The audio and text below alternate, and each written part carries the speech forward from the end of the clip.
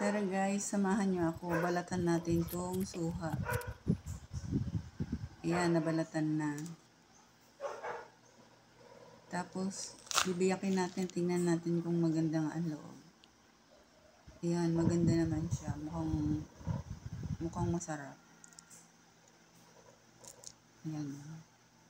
Tapos, try natin sausaw sa suka na may asin, bawang, tsaka sibuyas.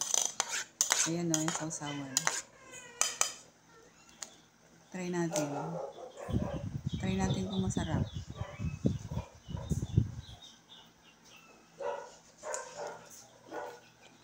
Ayan, masarap nga. Hmm. Isa pa nga. Ayan. Guys, thank you for watching. Bye.